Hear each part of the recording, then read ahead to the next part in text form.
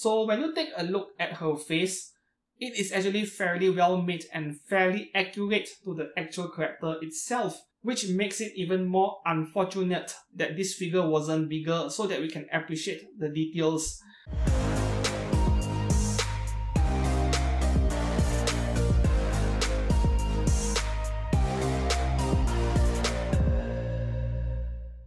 And welcome to EXkurogane Blog and Photography. I'm Steven and today I'll be giving this prize figure here a quick mini review. I don't really know how to pronounce her name in English. I will just call her Sanzang, but Sanzang Xuanzang, how do you pronounce that, right? In Chinese, she is known as Sanzang Fa Shi, which is a fairly well-known character in Chinese folklore. The Journey to the West folklore. I believe the anime Gensomaden Saiyuki is also based on that folklore, but of course the monk is not some bishoujo like what you see with the Fate franchise.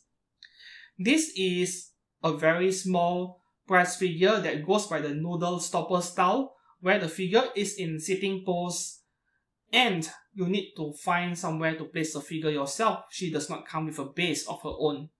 However, I'm kind of puzzled why Sega would make this thing so small because they have made way larger prize figures before for not too much more money. I paid close to 12 US dollars for this one including shipping, 50 Malaysian ringgit which I would say that is still reasonable but this thing would probably be only 500 yen or so on a Queen Toy machine. Especially over here in Malaysia where a prize figure averages 70 to 80 Malaysian ringgit, which is close to 20 US dollars.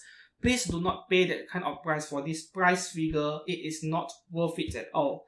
The amount of details on this prize figure is on the lower side even by prize figure standards. And also bear in mind that do not buy prize figures like this in a single shipment, one single prize figure. You need to buy a few and combine ship them together to get your money's worth. Shipping this one single figure international shipping rates that is not worth it at all. With the paintwork of this prize figure, they are yeah, yeah, prize figure standards, but actually fairly well done, especially on her outfit. I had to rely on this macro lens over here. I just bought this lens about more than a month ago. This is the Nikon Z105mm 2.8S macro a macro lens specific for the Nikon Z mirrorless camera system, I had to rely on this lens to show you the face of this figure in detail. So when you take a look at her face, it is actually fairly well made and fairly accurate to the actual character itself, which makes it even more unfortunate that this figure wasn't bigger so that we can appreciate the details. Her face is actually better done than Bedivere, which I reviewed recently because you can't even see Bedivere's mouth in some occasions depending on the lighting and yeah, your surrounding lighting of course. But with this figure of Sanzang, at least you can still see the outline of her mouth. It is properly sculpted and painted compared to Bedivere, which is a very shallow sculpt in comparison. Even though obvious seam lines are present on pretty much every single prize figure, what I don't like about this one over here is where her bikini strap literally pierces and into her boobs. Not very nice at all. And once again, this could have been prevented if this figure was larger, maybe the seam lines would be less obvious.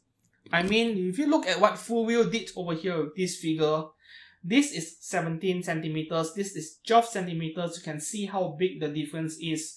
So I don't think Sanzang really deserves better than what she is getting with this prize figure. It is very unfortunate, but I would actually pay 20,000 yen, 18,000, 20,000 yen for a very high quality scale figure of her. In addition, to that, the sculpt on the right side of her hand, there is a huge irregularity. I don't really know what is going on at all, but that should not be happening even on a prize figure.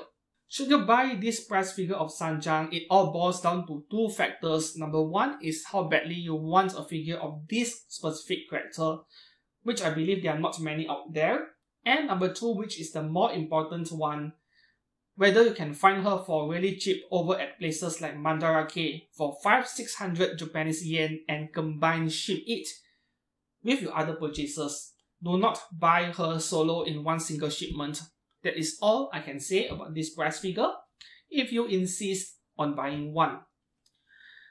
That about concludes my review for today. Thank you very much for watching and do not hesitate to ask questions in the comments below. I shall see you guys again soon. Goodbye.